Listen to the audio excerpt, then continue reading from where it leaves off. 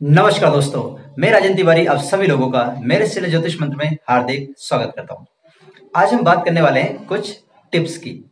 देखिए, दो चीज़ होती है, एक होती है टिप्स और एक होता है ट्रिक्स।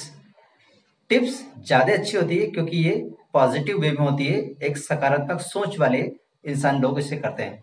और ट्रिक्स, आप जल्दी से कोई चीज़ को पाना चाहते हैं, चाहे वे कोई सा भी हो नेगेटिव वे में भी लोग करते हैं, उसको बोलते हैं ट्रिक्स। तो हम ट्रिक्स की बात नहीं करें आज हम बात करें टिप्स की। और वो टिप्स भी कौन सी? कि आप बोर्ड एग्ज़ाम में किस तरह से अपना पेपर दिए हुए टाइम में, यानी तीन घंटे में किस प्रकार से आप अपना पेपर कर सकते हो? कौन कौन से ऐसे प्रिकॉशन है जो आपको लेना चाहिए इस ड्यूरेशन में? जन जो टाइम बचा हुआ है, या करीबन एक से डेढ़ महीने का जो टाइम बचा हुआ है, इस टाइम को किस तरह से यूटिलाइज किया जाए?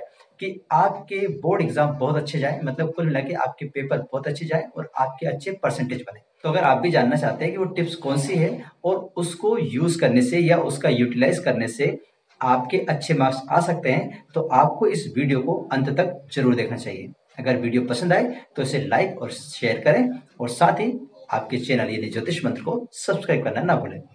टिप नंबर वन आपको अपनी पढ़ाई का शेड्यूल ज़रूर बनाना चाहिए। मतलब कुल मिला के पढ़ाई का टाइम टेबल ज़रूर होना चाहिए। आपको पता होना चाहिए कि किस टाइम पे आप कौन सा सब्जेक्ट पढ़ेंगे, कितनी देर पढ़ेंगे और जो आपको समय मिलता है पढ़ाई का, उस समय को आप कैसे यूटिलाइज करेंगे कि आपके सारे सब्जेक्ट उसमें कवर हो जाए। तो पहला क्या हुआ? टाइम टेबल सेट करना।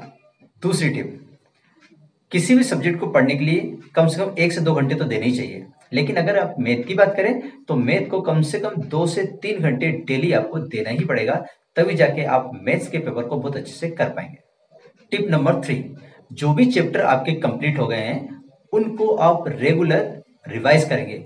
जैसे भी कोई भी चैप्टर, जैसे सपोज़ करिए आपके फोर चैप्टर हो गए तो उनको फोर का रिवाइज कर ले। एक दिन में आपने वन, एक चैप्टर किया है एक एक्सरसाइज किए तो उसी का आप रिवाइज करिए। डेली रिवाइज करिए। जब तक आप डेली रिवाइज नहीं करोगे तो वो चीज़ें भूलती जाएगी। जैसे मान लीजिए, दो दिन पहले आपने कोई चैप्टर को किया था या कुछ क्वेश्चंस को किया था, लेकिन आपने उसको रिवीजन नहीं किया तो वो दो दिन बाद या तीन दिन बाद वो भूल जाओगे। इसलिए रेगुलर उसका रिविजन होना ज़रूरी है। टिप नंबर फोर आप जब भी किसी टेस्ट पेपर की प्रैक्टिस कर रहे हो या क्वेश्चन पेपर की प्रैक्टिस कर रहे हो या कह सकते हैं सैंपल पेपर की प्रैक्टिस कर रहे हो तो उसमें जो टाइम गिवन है, उस टाइम के अकॉर्डिंग ही आप उसकी प्रैक्टिस करेंगे और उसको सॉल्व करेंगे। अगर वो टू आवर्स का है तो आप टू आवर्स में ही उसको कंप्लीट करने की सोचिए, बल्कि उससे पहले कंप्लीट करने की सोचिए। तो जो भी गिवन टाइम है, आप उसके अंदर उस पेपर को कंप्लीट कीजिए।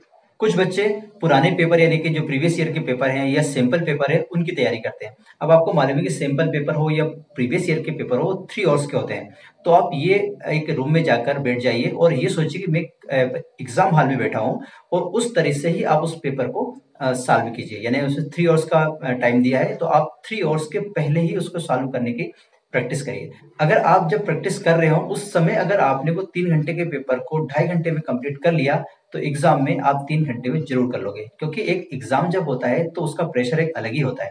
इसलिए जिस भी पेपर की आप प्रैक्टिस कर रहे हो, उसको ये सोचो कि मुझे इसको ढाई घंटे में कंप्लीट करना है।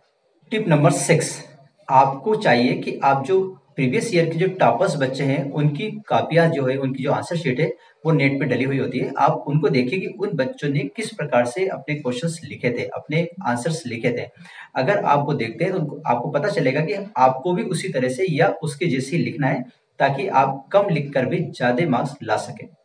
कुछ बच्चे क्या होते हैं बहुत बहुत लिख देते हैं। यानी आपको पूछा है थ्री थर्टी वर्ड में आपको आंसर लिखना, आप पता लगे उसको टू हंड्रेड वर्ड लिख दिया, उसका कोई सेंस नहीं है। तो आप उतना ही लिखे जितना कि आपको बोला जा रहा है। इसका मतलब अगर आप टॉपर बच्चों की कॉपी देखोगे तो आपको पता चलेगा कि किस तरह से लिखना चाहिए। टिप नंबर सेवन आपको चाहिए कि आप अपना पेपर सेक्शन नंबर डी से स्टार्ट करें।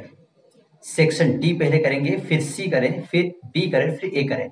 अक्सर लोग क्या होते हैं कि सेक्शन ए से स्टार्ट कर देते हैं और उससे करने से क्या होता है कि जो छोटे नंबर के क्वेश्चन वो आप पहले करते हैं, उसमें टाइम ज़्यादा कंज्यूम हो जाता है और इस वजह से आपके लास्ट के जो क्वेश्चन है, वो छूट जाते हैं। इसलिए आप ध्यान रखिए कि जब भी आप पेपर करें या कोई से भी सब्जेक्ट हो, कुछ भी हो, लेकिन आप उसको डी सेक्शन से स्टार्ट करेंगे। टिप नंबर एट आप ट्राई कीजिए कि क्वेश्चन पेपर में जो डी सेक्शन है, वो वन आवर में कंप्लीट हो जाए। यानी फ़र्स्ट और जो होता है पेपर का, उसमें आपका डी सेक्शन कंप्लीट हो जाना चाहिए। फिर जो सी सेक्शन है वो आपके 50 मिनट में कंप्लीट हो जाना चाहिए। जो भी जितने भी क्वेश्चन सी सेक्शन में दिए हों, वो आप ट्राई कीजिए कि वो 50 मिनट में कंप्लीट हो जाए। फिर बी जो सेक्शन है, यानी सेक्शन बी उसको ट्राई कीजिए कि वो 30 मिनट यानी आधे घंटे में वो कंप्लीट हो जाए। और सेक्शन ए आप 25 मिनट में कंप्लीट करने का ट्राई कीजिए। अगर आप ऐसा करते हो तो आप कम से कम 15 मिनट अपने सेव कर पाओगे। उस 15 मिनट में आप पूरे पेपर को फिर से देख सकते हो, फिर से चेक कर सकते हो कि कोई क्वेश्चन छूटा तो नहीं या कोई क्वेश्चन गलत तो नहीं लिख दिया। आप उस 15 मिनट में पूरे क्वेश्चन को पढ़ सकते हो उसको। टिप नंबर नाइन बहुत बार ऐसा देखा गया है कि कोई बच्चे किसी क्वेश्चन में उलझ जाते हैं। मान लीजिए क्वेश्चन नंबर थर्टीन कर रहे हैं या सिक्सटीन कर रहे हैं या थर्टीन नंबर का क्वेश्चन कर रहे हैं, उसमें करते करते उलझ गए। अब वो उसी में पड़े रहते हैं। उसी क्वेश्चन को करे जाते करे जाते आंसर आता ही और वो टाइम उसमें खराब करते रहते हैं। तो अगर आपके साथ कभी ऐसा हो कि कोई क्वेश्चन आपको परेशान कर रहा हो और उसमें टाइम ज़्यादा लग रहा हो तो उस थोड़ी देर के लिए उसको अलग रख दीजिए। मतलब उस क्वेश्चन को थोड़ी देर के लिए छोड़ दीजिए। अपना अगला वाला क्वेश्चन कर दीजिए। बाय द वे अगर आप वो आंसर नहीं ला पाए और उसमें आपने 15 से 20 मिनट लगा दिया तो आप दूसरे क्वेश्चन नहीं कर पाओगे। इससे अच्छा है कि उस क्वेश्चन को छोड़ दीजिए। आप अगला वाला क्वेश्चन करिए। और जब भी वो क्वेश्चन क्लिक हो आपके दिमाग में, आप वापस उस पेज पे जाइए और उस क्वेश्चन को कंप्लीट कर लीजिए टिप नंबर टेन, जब भी आप पढ़ने बैठे तो आप अपनी गोल छोटे छोटे सेट कीजिए। मतलब आप ये सोचिए कि मुझे इस दस मिनट में ये पाँच क्वेश्चन करना है। इस आधे घंटे में मुझे ये वाला पोर्शन कंप्लीट करना है। इस टाइप से आप अपने गोल सेट करिए। होता क्या है कि आप बड़े बड़े गोल सेट कर लेते हो। इस, क्या गोल सेट करा आपने? कि मुझे आज दस चैप्टर करना है। मुझे आज ये काम करना है। मत, ऐसा मत करिए, क्योंकि वो कभी कभी पॉसिबल नहीं होता है और जब पॉसिबल नहीं होता है तो आप निराश हो जाते हो और फिर पढ़ना छोड़ देते हो। यानी कि उस दिन पढ़ना छोड़ देते हो आप।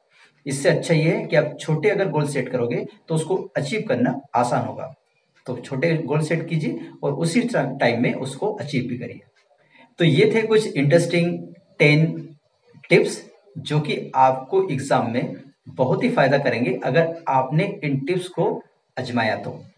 मुझे आशा है कि आप इन टिप्स को ज़रूर अजमाओगे और अपना जो रिज़ल्ट है, वो ज़रूर सुधारोगे। तो कैसे लगा आपको ये वीडियो और इसमें दी गई जानकारी? अगर आपको ये वीडियो पसंद आया तो प्लीज़ इसे लाइक कीजिए, शेयर कीजिए और मेरे इस चैनल ज्योतिष मंत्र को सब्सक्राइब कीजिए। आज के लिए इतना ही। मिलते हैं एक नए विषय के साथ। तब तक आप रहिए खुश और मुझे दीजिए आज्ञा। जय